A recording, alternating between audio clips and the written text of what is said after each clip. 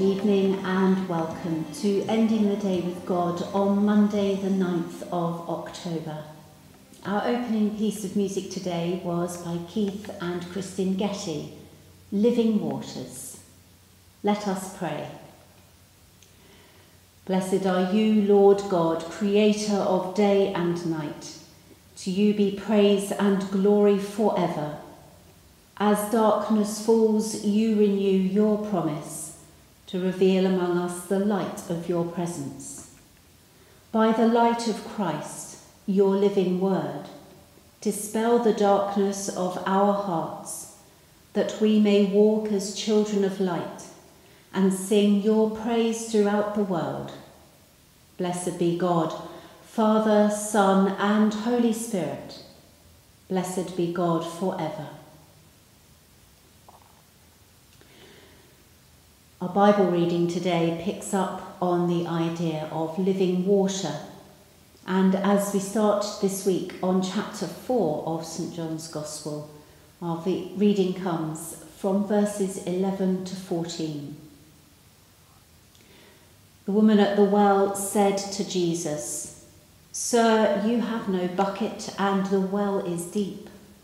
Where do you get that living water? Are you greater than our ancestor Jacob, who gave us the well and with his sons and his flocks drank from it? Jesus said to her, Everyone who drinks of this water will be thirsty again. But those who drink of the water that I will give them will never be thirsty. The water that I will give will become in them a spring of water, gushing up to eternal life.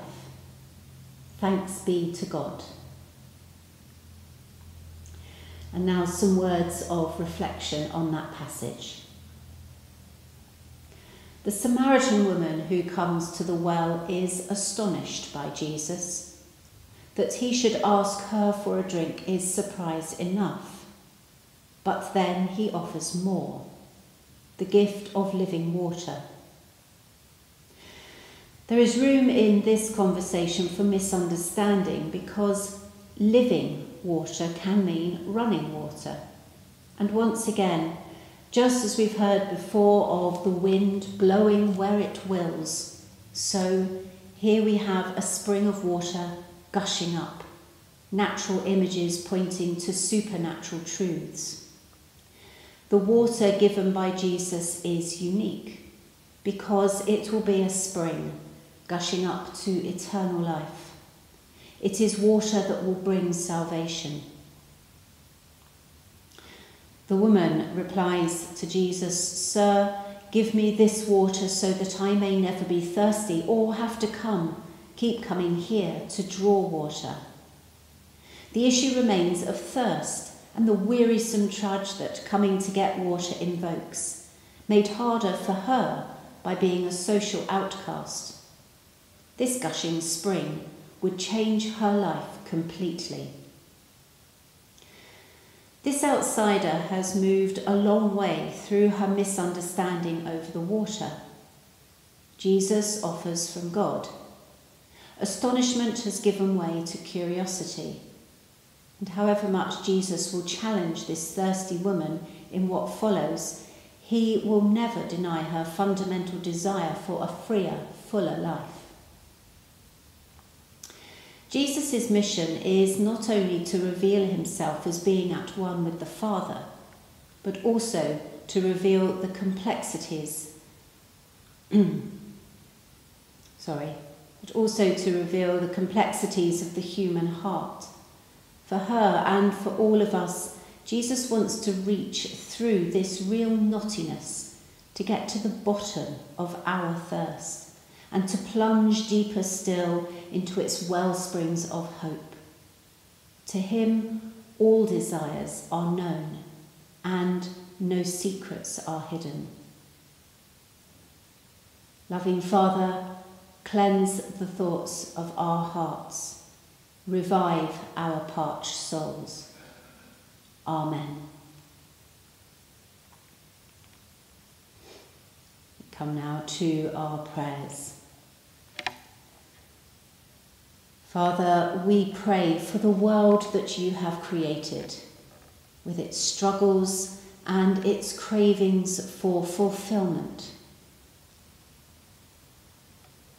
Help us to remember that you hold our lives safe in the palm of your hand.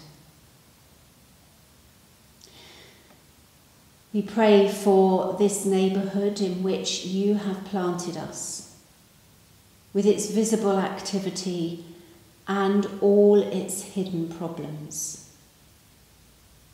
We pray for those who are ill at home or in hospital, with their longing for health and their struggle with pain. And we pray too for the dead and the dying with their need for mercy and their hope of heaven. We pray with thankfulness and love for your living water transforming our lives. Merciful Father, accept these prayers for the sake of your Son, our Saviour Jesus Christ. Amen.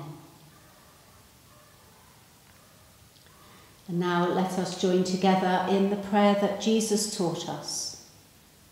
Our Father, who art in heaven, hallowed be thy name. Thy kingdom come, thy will be done on earth as it is in heaven. Give us this day our daily bread, and forgive us our trespasses as we forgive those who trespass against us. And lead us not into temptation but deliver us from evil. For thine is the kingdom, the power, and the glory, forever and ever. Amen. Kindle in our hearts, O God, the flame of love which never ceases, that it may burn in us, giving light to others. May we shine forever in your temple, set on fire with your eternal light even your Son, Jesus Christ, our Saviour and Redeemer. Amen.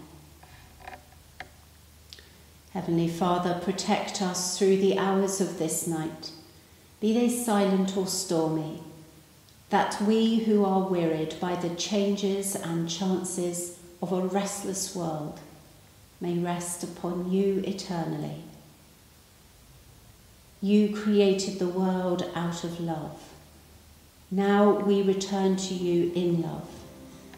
Let us rest in God this night and awake in newness of life. Amen.